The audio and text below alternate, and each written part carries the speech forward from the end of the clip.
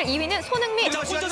피파 랭킹 1위 전차군단 독일을 상대로 기적에 가까운 2대 0 승리를 만들어내며 유종의 미를 거둔 대한민국 국가대표팀.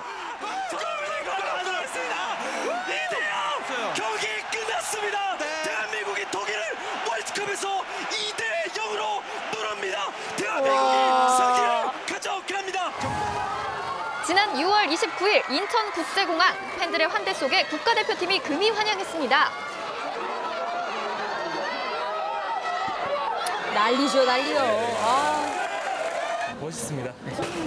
사랑합니다. 엄청 그렇습니다, 진짜. 대한민국 화이팅! 와, 직접 공항으로 마중들을 나오신 거죠? 이번 러시아 월드컵에서 손흥민은 박지성의 등번호인 7번을 이어받으며 대표팀의 에이스로서 압박감과 부담감을 안고 출발했는데요. 달려갑니다. 슛 18일 열린 스웨덴과의 첫 경기에서 아쉬운 경기력으로 1대0 패배를 기록.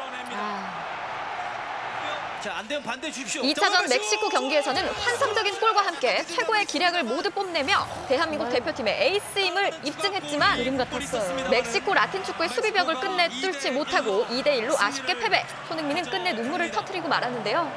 잘했어요. 어, 너무나도 죄송스럽고 하지만 선수는 정말 운동량에서 최선을 다했다는 것만 알아주셨으면 좋겠고 아, 진짜 토닥여주고 싶어요. 경기 직후 라커룸을 방문한 문재인 대통령의 잘했다는 위로를 받으며 또 한 번 아쉬움의 눈물을 터뜨렸습니다.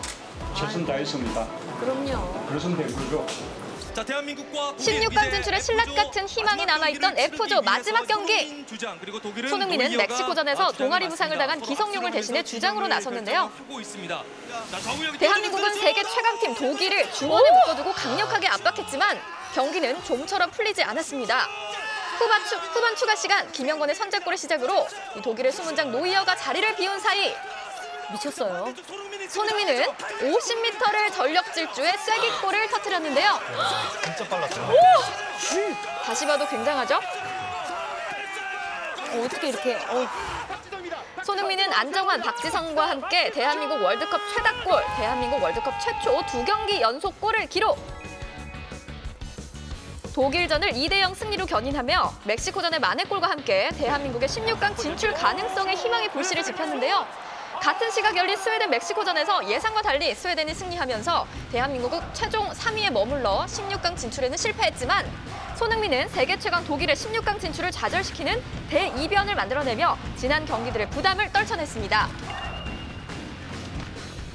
어디까지나 저를 뽑아주셔야 되고 뭐 구단하고 어느 정도 얘기가 마, 맞춰진 상태이고요. 뭐 그런 부분에 있어서 손흥민은 소속팀인 토트넘과 논의를 마치고 또다시 대한민국의 부름을 기다리고 있습니다.